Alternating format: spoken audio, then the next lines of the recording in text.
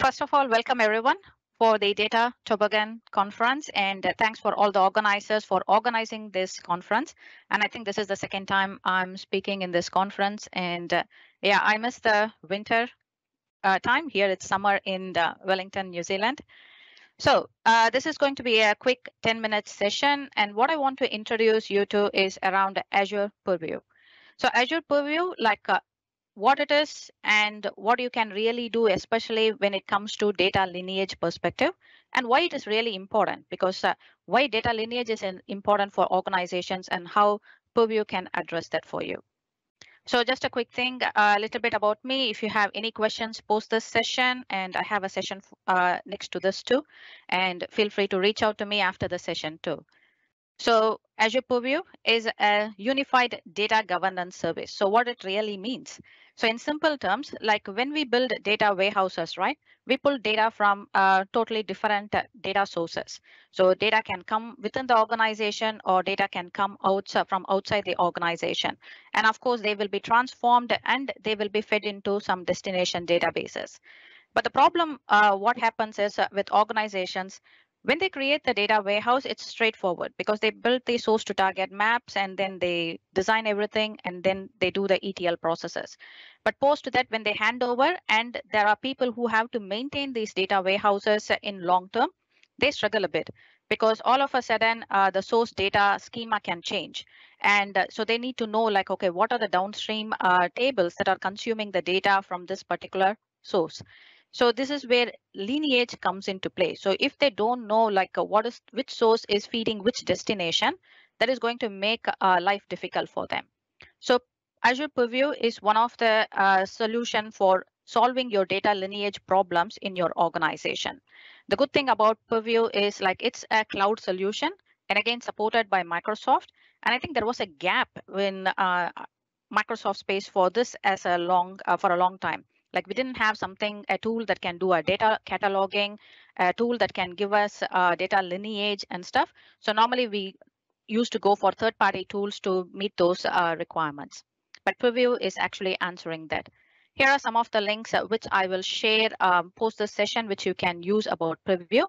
But before we uh, move on about this, like let us quickly jump on to a quick overview of what does this Purview data lineage really talks about. So what I have got here is um, I wanted to just explain that in terms with Azure Data Factory. So how you can integrate Purview with Azure Data Factory, but pretty much you can do the same thing within Synapse Analytics too. So I will quickly show you uh, the correlation of that too. So I have got uh, two databases. So I have got a source database here and an insight database. So let me group this by type so it makes it easy. Okay, so when it comes to I have got a source database and an insight database, pretty much I treat them like a source and a destination. And then what I have also done is uh, I have got a key vault because I like to store my credentials securely. And I have got a preview, a Purview account created in here. So what I'm going to quickly show you is uh, jump onto the Azure Purview. And uh, here I'm going to open the Purview Studio. So while that is happening, in the meantime, I'm also going to show you the Azure Data Factory, which I have created. So that is going to be a simple data factory, what I have got in here. So let me open this up and Data Factory Studio. So this is the Purview interface. As you can see here, you can browse the assets, you can maintain glossary, which is really important because we know certain terminologies, what it really means. But how do you make sure like uh, you your organization users like speak a single uh, like the same language right? So that's where the glossary comes into play. When it comes to assets this tells me like uh, what are the different uh, data sources that i have got in my organization. So uh, what are the tables uh, that i'm using in my etl processes? Uh, what is the pipelines that i have got? And when i take a particular table i have a lineage which will automatically tell me like you can see the lineage tab here. So this is the table and it tells me like which table this is feeding to and which pipeline that helps to feed this to. So this is quite valuable. So I don't know how many of you have uh, used a third party tools to do this. I have heavily used third party tools and the problem I used to have is around uh, uh, trying to bring everything together. So it's not only like a databases, but also like reporting and analytics and bringing those assets into a centralized place. So what we are doing here, this is my Azure Data Factory. So let me save this. So what I have got is a simple pipeline. So as I told you, like I have a source uh, database and a destination database, and I've created a simple pipeline, which is basically transferring the data from one source to the destination SQL databases. So multiple tables, but it gets done.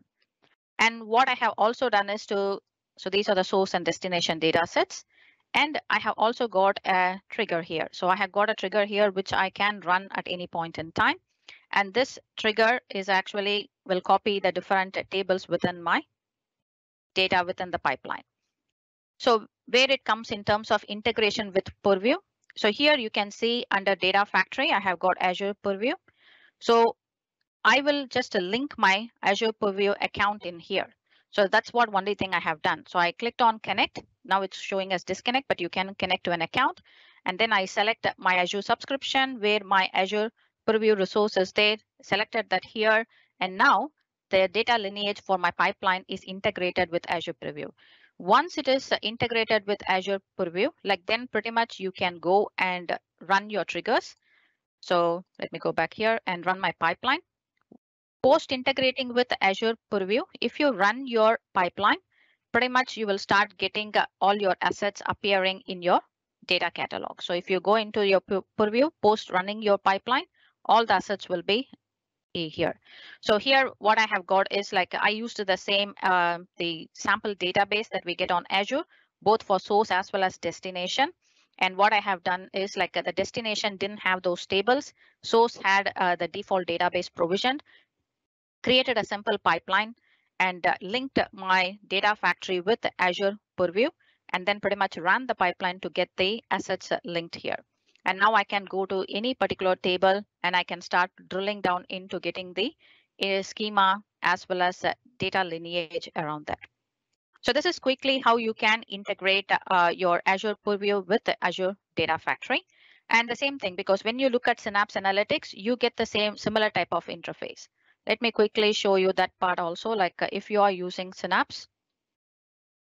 So this is my uh, Synapse workspace. And again, you can see here under the integration part, you um, manage part, you have got the Azure Purview.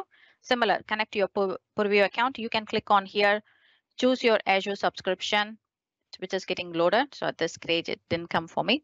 So this one, I haven't created a Purview account yet because I was showing the demo in a different subscription, but the workaround is the same way. So you connect to a Purview account, choose your subscription, and you establish the link here.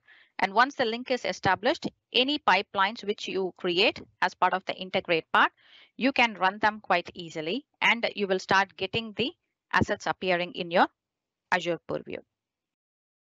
So why do we need this for? Root cause analysis. So what is root cause analysis? So when there is a problem in your ETL processes or something, suddenly uh, there is a data discrepancy or a schema mismatch and new files with new structures are coming, you need to know exactly like where do you jump and look at where does this data comes from. So Purview will help you to do the root cause analysis for that. And impact analysis. Impact analysis is root cause analysis is basically after problem has happened, then how do you resolve it? While impact analysis is some organizations will come and say, we are planning to change the structure of our file or uh, the schema that you're, we are going to provide you and can you just update your ETL processes? So if you want to know that, they, if uh, the first question that will be asked is, okay, what are the impacted tables? You can do a quick impact analysis using Azure Purview saying like, okay, I can see like if we touch this source, these are all the downstream uh, tables or files that will be impacted and you can just uh, uh, do your impact analysis quickly. So that's in a quick nutshell how you can actually integrate your Azure Data Factory pipelines with Azure Purview. So hopefully, like if you haven't got a data catalog in your organization, uh, start using Purview because uh, it's a great tool. And now you don't need to rely on any third party tools. It's a cloud tool closely integrated with all the Azure stack that you have got. So get ready and start using it.